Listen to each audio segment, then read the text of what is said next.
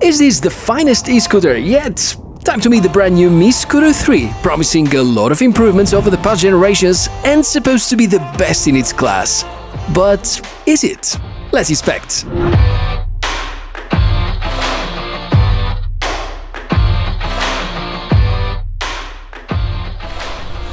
Hey, really nice to meet you, welcome back.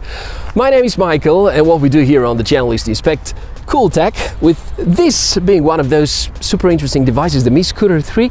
That's by the way something really interesting to notice and to recognize because of the blue accent color. Uh, other than that, looks very similar to the previous generations. And this is one of the most popular urban scooters ever. So I think it's really interesting to figure out how Xiaomi managed to balance all that, staying leaders, adding some new innovations, uh, possibly listening to the feedback from their community, and also staying compliant with all the regulations in the different countries. And in this video I'm going to talk about all that, about my experience and uh, the performance after the last uh, two weeks of testing it. And if you do have some questions or probably some ideas or remarks, do comment below because I'm going to be collecting some good ideas about a follow-up video about using it after a few months. The best part is that with all the upgrades, the supply issues and everything crazy that happened in the past two years, the scooter is going to maintain very affordable price, being between the 1S and the Pro model, with of course the best kind of technologies that 2021 can provide. Given its solid performance, huge variety of modifications and spare parts, and the smartphone app maintenance, this is one of the best choices for a city scooter, doesn't matter if we talk about beginners or advanced users. The unboxing. It has been far better than the first generation, very cool looking package, most of the important highlights noted, and of course, it is all well protected for safe transportation.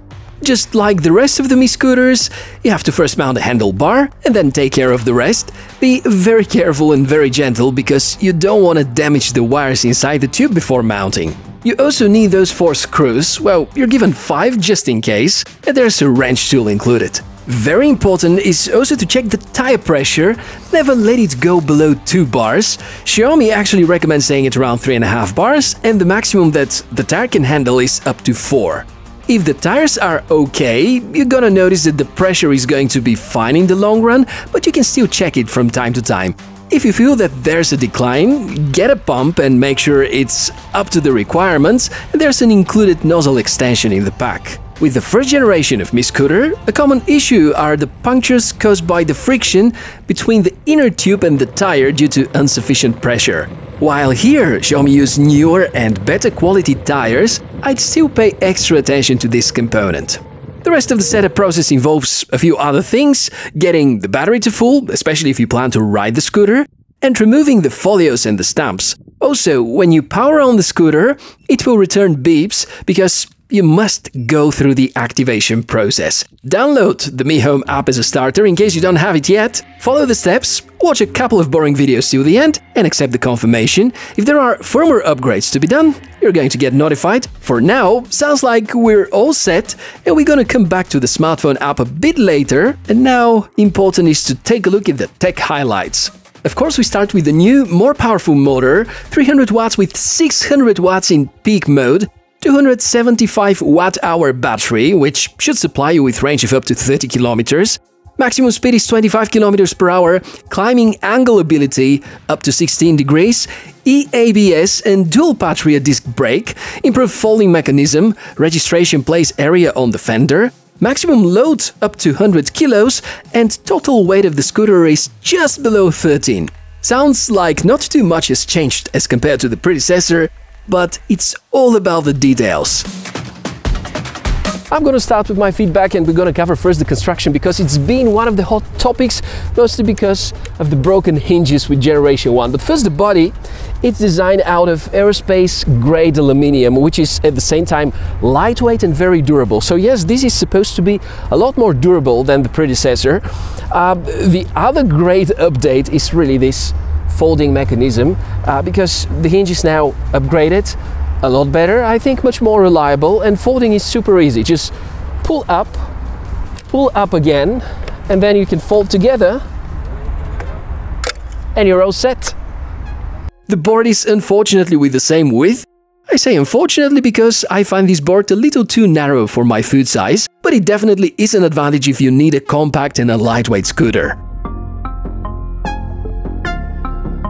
Next comes the motor, which is inside the front wheel. They say 600 watt peak power. It's a bit of marketing here involved. It's actually 300 watts, but when uh, there's a need for peak power, it's going up to 600. That's giving you pretty decent ride, no matter whether you're going to be up hills or down hills. And I think in terms of performance, maximum speed is obviously 25 kilometers. Then we have a balance mode, eco mode, which is 20 kilometers per hour. This eco mode or dynamic mode, it feels as good as the acceleration with the sports mode on the first generation. So I would say, yeah, the performance here is really good. There's a little difference about how the throttle feels now and a bit different sound of the motor itself. It's in the front wheel and also represents the eABS brake. Very smooth and very efficient braking. Good moment to highlight the new rear brake because it now uses a dual pad system, much more reliable and should wear off a bit slower. I guess for these countries where legally required, like Germany, Xiaomi are going to figure out a way to split the operation of both in order to be compliant. If we add the battery to the equation, you will be pleasantly surprised. 275 watt hours, promised range for a 75 kilo rider with riding on flat surface and not accelerating too often, up to 30 kilometers. I managed to squeeze for 50% battery around 13.5 kilometers and close to 26 until entirely empty. That was urban riding with bumps, some uphill riding and a lot of start-stop situation, mostly at the dynamic mode, but this is impressive achievement for my close to 90 kilo weight and if there was cruise control involved, it would have been easily able to achieve even more than that. There are a few more components I haven't thoroughly covered, like the mudguard, finally secured and less vulnerable, because Mi Scooter 1 has no protection and people are often breaking theirs. Much better lights, both on the front and the rear. Here we have a bump up to 2 watts for the front light. And my favorite part, this awesome display, which even in direct sunlight is well visible. I guess controls are easy to remember. On the left, this is the brake, right next to it the bell, on the right, acceleration lever, in the middle, the display with the button controls. Single press to start or stop the front light, double press, switches between modes, pedestrian mode, this is the boring one, speed is up to 5 km per hour, the dynamic up to 20, and the sports mode going as fast as 25. At the time I recorded this video, still no way to unlock the speed limit, and sadly, again, due to regulations, the cruise control option is not present, but even if we want it nowadays, that should go through custom firmware, which will void the warranty. I guess getting such firmwares is just a matter of time anyways. You know, while most of these components seem to be minor upgrades on top of what we already know for the Mi Scooter series, there are two keywords that describe the whole marketing strategy around Mi Scooter 3 safety and reliability. Just look at the list. There are overcurrent protection, overcharging protection, undervoltage auto sleep protection, short circuit protection, even temperature protection, so it's among the safest scooters to ride in super hot and super humid areas. So, after covering all these strengths, Let's talk about the possible drawbacks. And uh, first is the waterproof rating. It's still IP54, although Xiaomi did something about it, and uh, that's about the cover of the display, because now it's in one piece. Speaking of rainy day and mud, this here, the battery cover at the bottom is a nightmare to clean. Likely the replacement options that we have from uh, Mi Scooter 1 are going to be compatible. I still cannot confirm this though. Since the dimensions are exactly the same as Mi Scooter 1, I think this device is not perfect for people that are taller than 1 meter and 80 centimeters. Last but not least, that's because of the regulations, no cruise control. So, who is this electric scooter for?